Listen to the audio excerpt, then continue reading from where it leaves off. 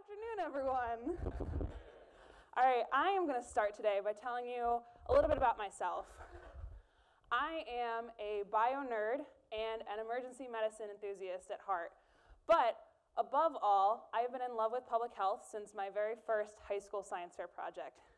This is actually me at the Virginia State Science Fair back in 2010, where I was researching the connection between playing a musical instrument and asthma. And I was so in awe at how I could take biology and statistics and make it relatable and impactful. And so when I was in my senior year of college and I had to come up with an undergraduate thesis, I knew immediately what it would be on, and that's public health.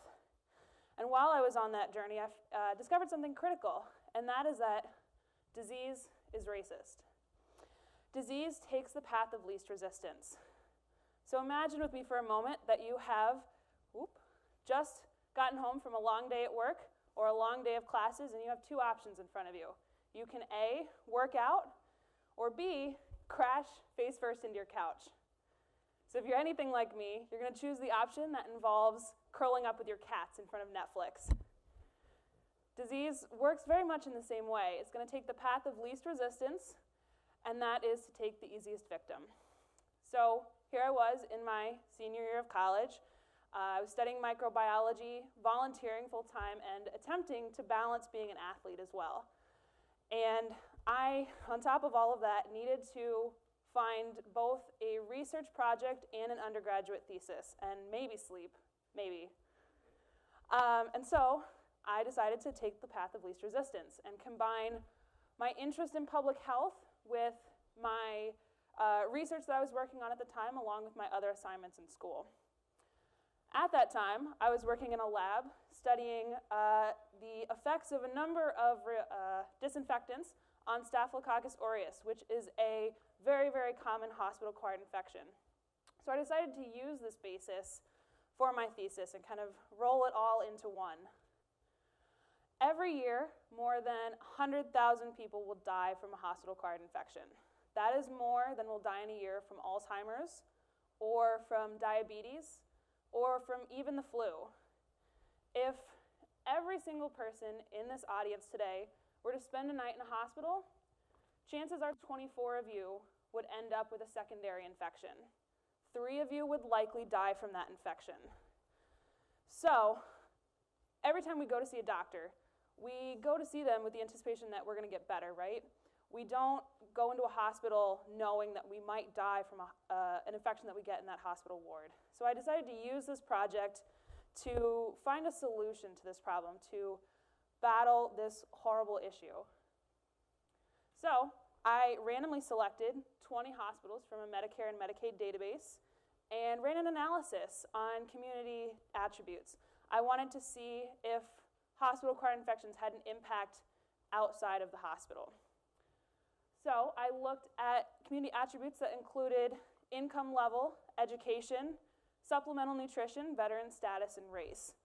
And what I found was particularly interesting. Hospitals with higher infection rates trended towards communities that had high minority populations and very low median income. For whatever reason, minorities were much more likely to get a hospital-acquired infection. But just because there's a correlation doesn't mean there's a causation, right? For example, we have seen a correlation between uh, per capita sales of margarine and divorce rates in Maine. This doesn't mean that because you buy more butter, you're less likely to get divorced in Maine, right? In epidemiology, we, there we go. In epidemiology, we use what's called the Bradford Hill criteria. It's a set of nine loose guidelines that help us determine if a relationship is real or fake. It was deter uh, determined by this man, Bradford Hill, in 1965 to determine the cause between uh, smoking cigarettes and lung cancer. So I had this very, very interesting results, and I wasn't quite sure what to do with it. I went back to the basics of epidemiology. I dug through literature research, I spoke with medical professionals, and slowly I began to put the pieces together. And I was checking items off of this causation list, In the end, more than half of the criteria were a match. But I had spent weeks working in hospitals, and in fact, years if you count my emergency medicine experience, and never once had I gotten a hospital acquired infection. So I needed to know why specific people and why specific communities were much higher risk for these infections. I ended up with a list of three criteria, and that is the inability to develop acquired immunity, presence of secondary conditions, and lack of resources. How many of you here today traveled to get here? Anybody? Yeah? All right. So I did too. I actually came in from St. Louis. It took me two airplanes to get here. And I actually have been traveling quite a bit for work lately. So I've been on 10 airplanes and in seven airports in the past two weeks. And for me, I hate traveling. There's never enough room. There's a baby screaming two seats over, a kid kicking you in the back, and your neighbor is inevitably breathing down your neck. It's just, it's such a hassle. But I am privileged. I had the opportunity to travel, to expose myself to a number of environmental factors, including bacteria and viruses, that in the end boosted my immune system. And this is what we call acquired immunity. Acquired immunity is not something you're born with. You develop it over a lifetime through exposure to the environment around you. Every time that your body has to fight an infection to mount an immune defense, your body and your immune system get stronger. So if you don't travel, if you don't move, if you don't have those experiences, you never build that immunity. Vaccines play into this as well. And as the research has shown, minority groups and low income families are much less likely to have received the flu vaccine, HPV, pneumococcal, or shingles or tetanus vaccinations, each of which, which will boost your overall immunity. This is then compounded when families will live in one city block for an entire lifetime, for generations on generations, never getting exposure to new environmental factors. Secondary conditions also play a part. As I was speaking to one nurse, she explained to me that the patients that they see with the most hospital acquired infections are those being treated with chemotherapy or dialysis. As a matter of fact, Hispanics and African Americans are significantly more likely to experience cancer or diabetes that would need to be treated with these methods. Now, not just hospital acquired infections, but many diseases will continue to disproportionately affect underserved and underprivileged communities. This pattern is a type of social injustice that we refer to as structural violence. Structural violence is a systematic way in which social structures harm and disadvantage particular communities and particular populations. It is very, very subtle, almost invisible even, and has multiple responsible parties. And this brings me to my final point that communities lack the resources to improve their health outcomes. Now, I am a happy, healthy person. Most of you in this audience are, but we are not a healthy community. And unhealthy communities lack economic opportunities, access to adequate health care, vaccination programs, and often display a high prevalence of drug use. So, minority and low income communities and neighborhoods continue to be the victim of structural violence.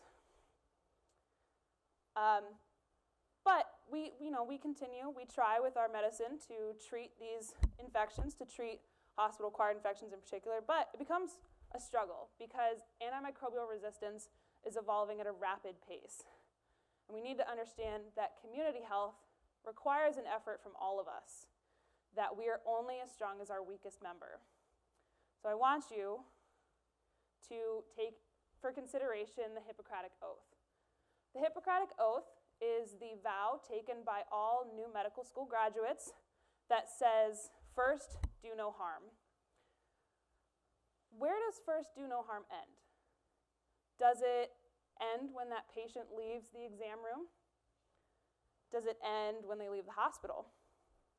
Diseases are evolving at an increasingly rapid pace. And in order to respond to that, we also need to evolve the way in which we implement medicine. If we recognize this pattern, we can then extend that Hippocratic oath to the community to take it on as an effort from all of us. So, why should we care? Why does it matter? Structural violence, in, in its most simplest term, we often think of it as occurring in developing nations. In developing nations, it's far away. It's hard to recognize that we could help or intervene. It's not our home, it's not our town, it's not your neighbor. But if disease is racist, then it's coming for you too.